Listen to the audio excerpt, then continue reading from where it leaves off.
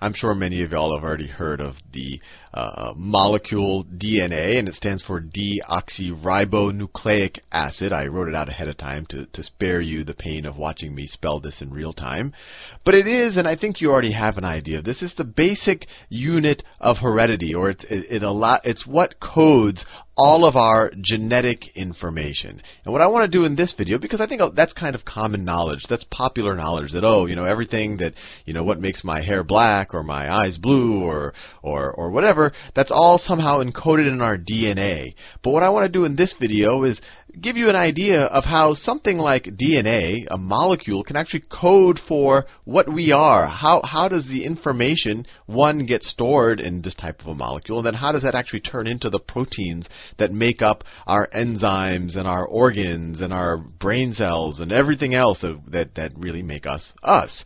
So this is a, a computer uh, graphics representation of DNA, and I'm sure many of y'all have heard of the double helix double helix.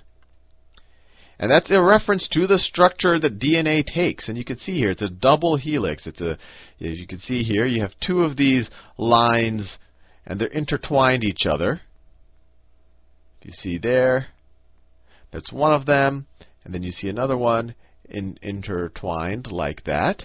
And then they're connected by, you can almost view as it's like these bridges between the two, between the two helixes, and they twist around uh, each other. And I think you get the idea. And so the double helix just describes the the structure, the shape that DNA takes, and it, ha- it leads to all sorts of interesting repercussions in terms of how heredity takes place, and and and and and and how natural selection and variation might take place as well. And actually, in the future, I do want to actually read with you.